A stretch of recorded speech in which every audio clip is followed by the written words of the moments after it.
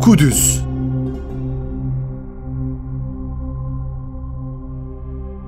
Dünyanın en kadim kentlerinden Üç büyük semavi dinin yaşadığı o kutsal toprak. Tarih boyunca herkesin hükmetmek istediği sayısız savaşa sahne olmuş, onlarca kez yıkılmış fakat şanını ve kutsallığını hep sürdürmüş dünyanın en özel şehirlerinden biri. Yahudilerin en kutsal mekanı ağlama duvarının bulunduğu, Hristiyanların İsa peygamberin çarmıha gerildiği ve kabrine konulduğu yer olarak kabul ettiği ve biz Müslümanlar için Peygamber Efendimizin miraca yükseldiği Mescidi Aksa ve Kübbetüs Sahra'nın bulunduğu o yüce şehir.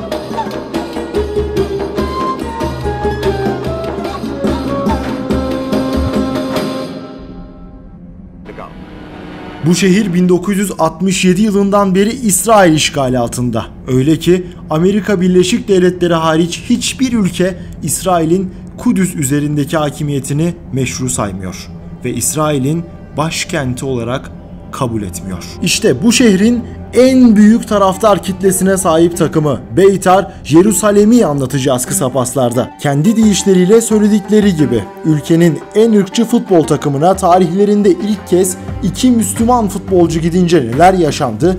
En büyük taraftar grubu olan La Familia grubu ortalığı nasıl karıştırdı? Müslüman futbolcular ne tepki verdi? Bunları birazdan bütün detaylarıyla anlatacağız. Ve yine futbolun yalnızca futbol olmadığı bir bakış açısıyla İsrail ve Yahudi insanının sosyolojik portresini sunacağız sizlere. Videoyu beğenmeyi ve abone olmayı unutmayalım.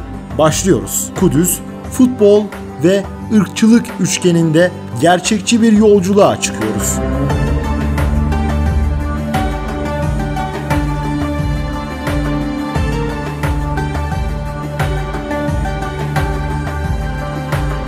'Beytar' bu şehrin insanların yaşamlarında hayati bir öneme sahip. 1936 yılında kurulan Sarı Siyahlı Kulübün taraftarları Beytar'ın futboldan fazlasını ifade ettiğine gönülden inanıyorlar. Öyle ki maçlar bir yana sessiz ve boş geçen bir antrenmanları bile yok. Mizrahi Yahudilerini ve sağ görüşü temsil eden Beytar, yıllar içinde milliyetçi İsraillilerin aynı renklere gönül vermesini de sağladı bir yandan. Ve ayrıcalıklı olmayanların takımı sloganıyla radikal İsrail'in sembolü oldu. Taraftarlar İsrail'in en ırkçı partisi olan ve sonralarda kapatılan Catch Partisi'nin yeşil sahalardaki ayağıydı adeta. Öyle ki bu partiye göre İsrail'de yaşayan Araplar sürgün edilmeli ve İsrail Yahudi şeriatına göre yönetilmeliydi. Beytar'ın genlerinde bulunan politik akımlarının ve kitlesel gücün en somut örneği bir zamanlar takımın yönetim kurulu üyesi olan Benjamin Netanyahu'nun yıllardan beri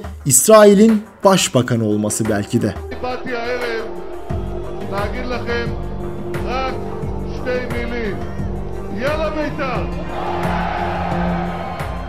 2005 Ağustos'unda takımı 100 milyon euroluk dev bir yatırımla satın alan Rus iş adamı Arkadi Gaydamak'ın da bu olayı siyasi amaçlarla yaptığı sonralarda ortaya çıkacak bir gerçekti. Kudüs'ün en büyük değeri olarak gördüğü kulübü Beytar'ı satın alarak halka kendini tanıtmayı ve Kudüs'e belediye başkanı olmayı istiyordu. Beytar'ı bir basamak niteliğinde kullanan Gaydamak takımı ve taraftarları çok iyi bir propaganda aracı olarak görüyordu. Bu düşüncelerini de şöyle dile getiriyor İsrailli Rus oligark. Bana kalırsa futbol o kadar da büyüleyici bir spor değil. Futbol bilinçaltı seviyesinde farklı gruplar arasında çatışmadır. Bir savaştır. Bu savaşı zeki insanlar kullanır. İlk yıllarında yeterli transferler yapmadığı için taraftarlar tarafından yoğun tepkilerin odağında kalan Gaydamak yıllar içinde yatırdığı paralar ve takımın da iyi gidişatının etkisiyle daha da tanınmaya ve sevilmeye başlıyor. 2006-2007 ve 2007-2008 sezonlarında 2 sene üst üste kazanılan lig şampiyonlukları Başkan Gaydamak'ın belediye başkanlığı yolunda da önünü açıyor ve hayal ettiği adaylığını açıklıyor.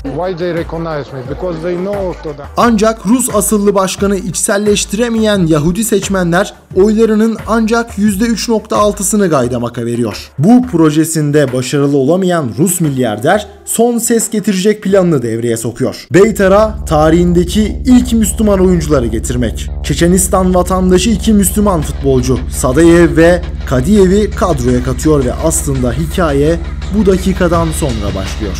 Bu transferlerle İsrail Süper Ligi'nde Müslüman oyuncuları kadrosuna katan ilk Yahudi kulüp olan Beytar, taraftarlar başta olmak üzere bütün şehrin tepkisini çekiyor. Tepkiler başlıca iki Müslüman oyuncuya yönelik olsa da takımdaki diğer oyuncular ve yöneticiler de suçlamalardan payına düşeni alıyor. Hatta öyle ki bu iki Müslüman futbolcuyu iyi karşıladıkları ve basın toplantısında yer aldıkları için takımın kaptanı ve antrenörüne düşman kesiliyor Beytar taraftarları.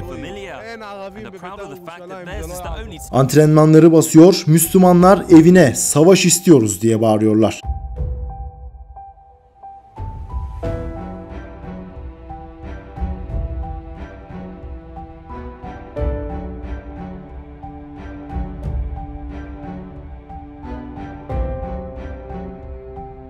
Maçlarda gerçekleşen bitmek bilmeyen ıslıklar, küfürler ve sosyal medya baskıları Müslüman iki futbolcu Sadeyev ve Kadiyev'in her an üstünde oluyor. Bu da yetmiyor ve bütün olayları özetleyen bir pankart da açılıyor tribünlerde. Beytar daima saftır. Müslüman futbolcu istemiyoruz. Bu faşizan duruma karşı olan gazeteler ırkçılığı durdurmalıyız. İsrail halkı ırkçılıktan en çok bedel ödeyen uluslardan biri. Müslüman oyuncularla barışalım satırlarını yazsalar da ırkçı çoğunluğun baskınlığı sürüyor. Öyle ki Müslüman Yahudi ırkçılığının bir nevi yeşil sahaya ve tribünlere yansıması olan olaylarda taraftarların yanı sıra birçok politikacı da Araplara ölüm sloganını savunuyor ve La Familia tribünlerinde yerlerini alıyorlar. Müslüman futbolcularsa zaten yalnız oldukları bu ortamda içlerine kapanıyor ve adeta sessizce olanları izlemek zorunda kalıyor. Saha içinden bahsetmek gerekirse futbol sahalarında belki de ilk ve son kez göreceğimiz aşırı trajik bir olaya rastlıyoruz. Beytar artan kaosla beraber düşme potasına doğru giderken takıma katılan iki Müslüman futbolcudan biri olan Sadayev kritik bir maçta kritik bir gol atıyor. O an herkes her şeyi unutup sevinse de 1-2 dakika sonra ortalık karışıyor.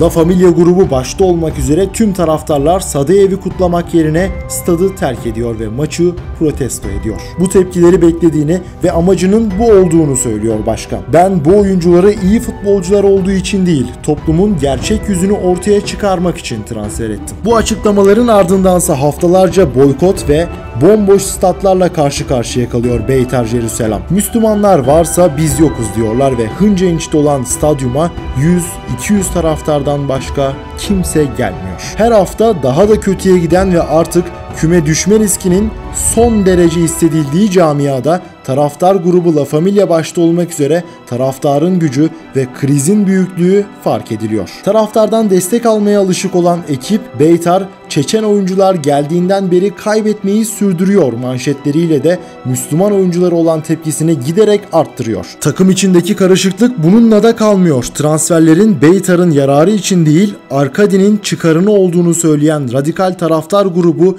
La Familia'yı destekleyen kaptan Ofir Kriyav kadro dışı bırakılıyor. Ligin sonuna yaklaşırken başarısızlığın, kötü gidişatın ve kaosun artık iyiden iyiye kendini hissettirmesi kulüpte daha büyük olumsuzluklara yol açıyor ve taraftarlar renklerine gönül verdiği takımın tarihini yok sayarak kulüp binasını ateşe veriyor. Sezonun son maçına gelindiğinde ise küme düşecek ekibi belirleyecek maçta taraftar grupları protestolarına bir maçlık son verip tribüne dönmeye karar veriyorlar ve Beytar galibiyeti alarak kümede kalmayı başarıyor. Bu skandal dolu sezon bittiğinde hikaye de sona eriyor diyebiliriz. Milyarder Rus başkan takımı herhangi bir ücret talep etmeden devrediyor ve şu sözleri ekliyor. Bu iğrenç kulübün sahibi olmamak çok rahatlatıcı. Müslüman futbolcular çok yıpratıcı geçen bu sezonun ardından ilk uçakla güzel hayallerle geldikleri İsrail'den dönüyorlar. Onlar artık sıradan futbolculardansa İsrail'deki ırkçılığın en somut tanıkları olarak tarihe geçiyorlar. Şimdilerde Kadiyev Rus alt liglerinde bir stoperken Forvet Sadeyev Polonya'da geçen başarılı sezonların ardından bu yıl Rusya Premier Ligi'nde boy gösteriyor. Videonun sonuna geldik. Sizler bu trajik hikaye hakkında neler düşünüyorsunuz? İsrail'de yaşanan durumları nasıl özetlersiniz? Müslüman futbolcuların yerinde olsaydınız siz ne yapardınız? Yorumlarınızı bekliyoruz.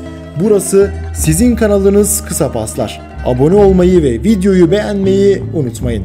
Hoşçakalın.